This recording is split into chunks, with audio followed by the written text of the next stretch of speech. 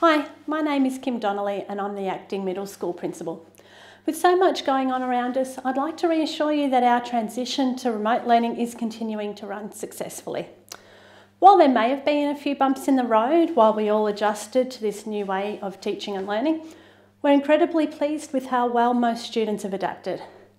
Teachers have been connecting and engaging with students to provide the best possible learning programs in all areas of the curriculum and they're supporting them with any difficulties that have arisen.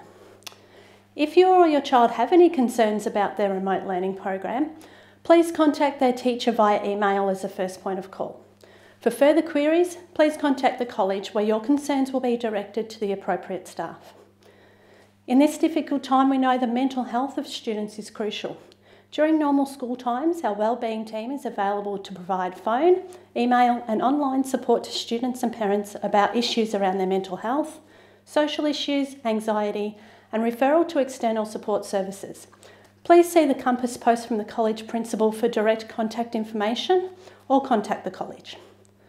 I'd also like to reiterate the message from the Victorian Government at this stage that all students who can learn at home must learn at home.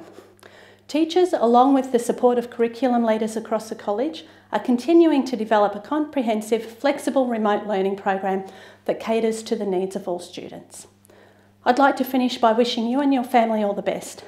We look forward to seeing all students back when the time is right. Thank you and stay safe.